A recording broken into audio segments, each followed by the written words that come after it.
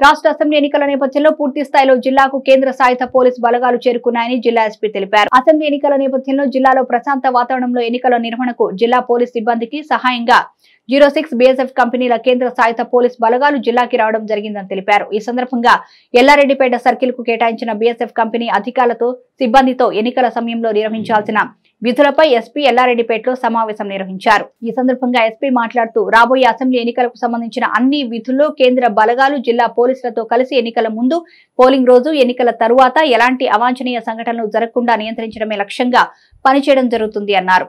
కేంద్రం సాయుధ బలగాలను క్రిటికల్ పోలింగ్ స్టేషన్లలో రూట్ బందోబస్తు స్ట్రాంగ్ రూమ్ మరియు కీలకమైన పాయింట్ల వద్ద సెంట్రల్ ఫోర్స్ సిబ్బందిని ఉంచడం జరుగుతుంది అన్నారు. అలాగే చెక్ పోస్టు దగ్గర పటిష్ట నిఘా ఏర్పాటు చేసి ముమ్మరంగా వాహన తనిఖీలు నిర్వహించడం జరుగుతుందని కూడా తెలిపారు. జిల్లా పోలీస్ అధికారులతో సమన్వయం చేసుకుంటూ ఎలాంటి గొడవలు లేకుండా ఎన్నికలు ప్రశాంతంగా నిర్వహించడానికి ప్రతి అధికారి కృషి చేసి ఎన్నికలు విజయవంతం చేయాలన్నారు. సమస్యాత్మక గ్రామాలపై ప్రత్యేక దృష్టి సారించి ఫ్లాగ్ మార్చ్ రూట్ మార్చ్ నిర్వహిస్తూ ప్రజలకు భద్రతా భావాన్ని కలిగించాలన్నారు.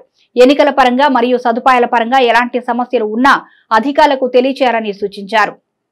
ఈ సందర్భంగా ఎస్పీ ఎల్లారెడ్డిపేట సర్కిల్ పరిధిలో ఉన్న పోలింగ్ స్టేషన్ వివరాలు చెక్పోస్టులు జిల్లా యొక్క భౌగోళిక పరిస్థితుల గురించి బీఎస్ఎఫ్ అధికారులకు ఎస్పీ వివరించారు. ఈ సమావేశంలో Sircilla DSP Uday Reddy CA Shashidhar Reddy SI Ramakant BSF commandant BSF అధికారులు సిబ్బంది పాల్గొన్నారు.